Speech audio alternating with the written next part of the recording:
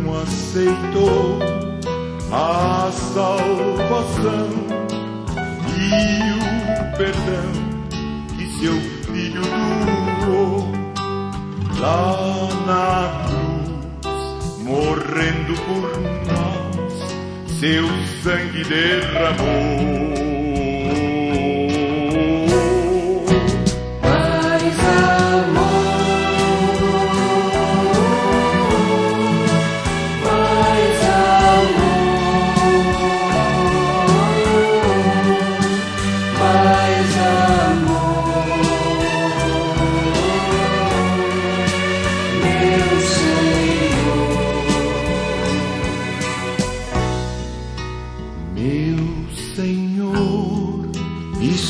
Estou aqui para lhe pedir o seu amor e transmitir com mais fervor ao pecador.